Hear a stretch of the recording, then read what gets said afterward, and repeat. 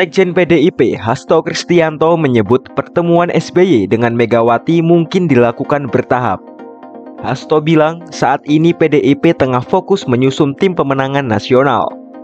Sementara terkait pertemuan itu masih menunggu arahan dari para dewan pengarah. Hal itu disampaikan Hasto di kantor DPP PDIP Senin 4 September 2023. Nanti agendanya satu-satu. Jadi agenda hari ini adalah pemantapan di dalam menyusun tim pemenangan nasional dan agenda-agenda strategis berdasarkan kebijakan yang disampaikan para ketua umum untuk dijabarkan. Ya kita semuanya kan bertahap ya mengadakan pem, eh, pemenangan pemilu.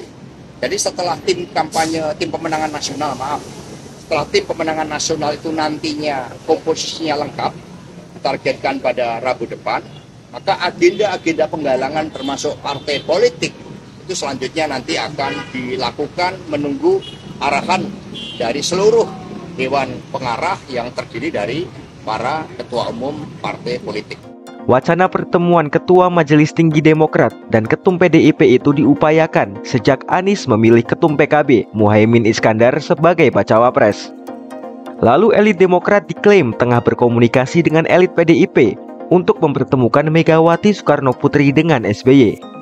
Demokrat berharap adanya peluang kerjasama politik dengan PDIP pada pemilu 2024. Sebelumnya, Demokrat dibuat kaget oleh Nasdem. Pasalnya, Nasdem tidak memilih Ketum Demokrat AHY sebagai bacawa pres Anies Baswedan.